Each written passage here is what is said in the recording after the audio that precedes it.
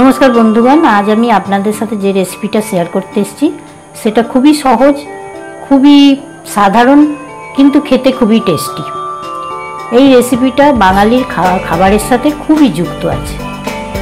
এই রেসিপিটার জন্য যেগুলো দরকার, আম আধ পাকা আম, খেজুরের টুকরো কিশমিশের টুকরো, নুন, ভাজা মশলা, এই মশলাটা আমি ঘরে হাতে বানিয়েছি। চিনি, সাদা তেল আস্ত শুকনো লঙ্কা, পাঁচ ফোড়ন গুঁড়ো লঙ্কা, হলুদ গুঁড়ো। আচ্ছা এবার আমি রেসিপিটা শুরু করছি।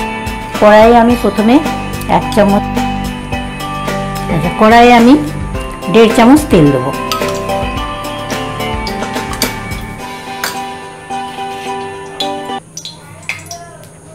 দু মিনিট আমার তেলটা গরম হবে।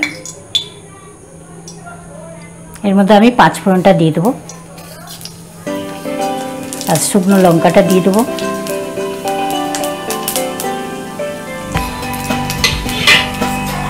মশলাটা একটু ভাজা ভাজা হবে।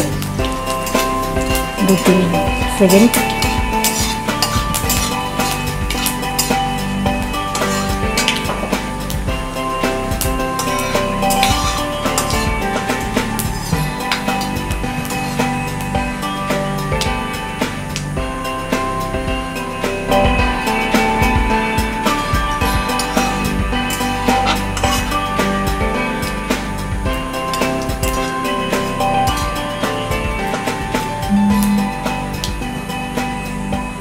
মশলাটা আমার ভাজা হয়ে গেছে। এর মধ্যে এবার আমি এই আমগুলোকে দিয়ে দেবো।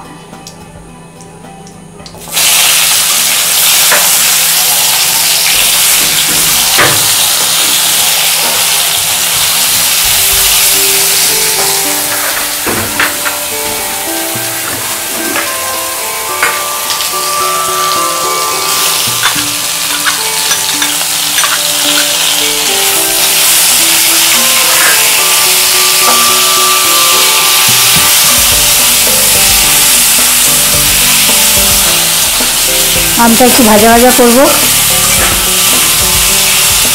দু, তিন মিনিট।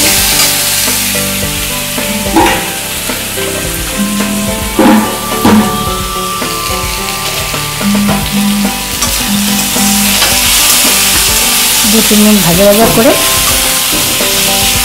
এর মধ্যে আমি হলুদ গুঁড়ো আর গুঁড়ো লঙ্কাটা দিয়ে দেবো।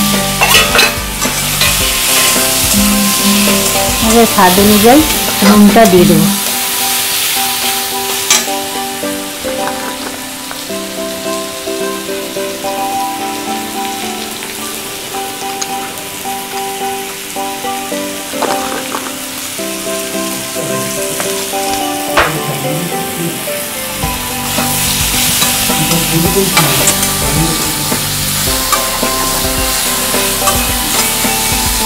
মধ্যে আমি জল দিই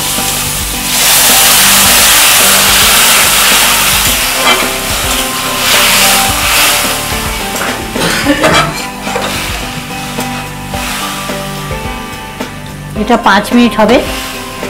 তারপরে আমি এর মধ্যে চিনিটা দিই আমটা আমার সেদ্ধ হয়ে গেছে। এবার আমি এর মধ্যে চিনিটা অ্যাড করব।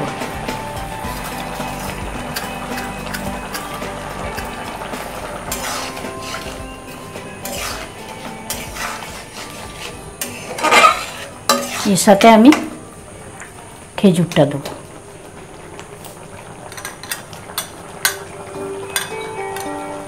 একটুখানি রেখে দেবো। পরে আমার গার্নিশের জন্য দরকার। এর মধ্যে এবার আমি কিশমিশও দিয়ে দেবো।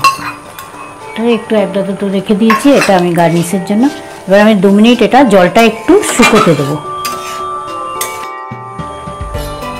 চাটনিটা আমার রেডি হয়ে গেছে মোটামুটি। এর মধ্যে আমি এবার ভাজা মশলাটা দিয়ে এটাকে বন্ধ করে দেবো। ভাজা মশলাটা দিয়ে দিলাম। এর মধ্যে চিনিটা আপনারা পরিমত মতন দিতে পারেন, নুন, মিষ্টি। বেশি মিষ্টি খেতে হলে বেশি দেবেন নাহলে আমার চাটনিটা কমপ্লিট এই আমার চাটনিটা যদি ভালো লেগে থাকে, আমার রেসিপিটা তো শেয়ার করবেন লাইক করবেন সাবস্ক্রাইব করবেন। নমস্কার থ্যাংক ইউ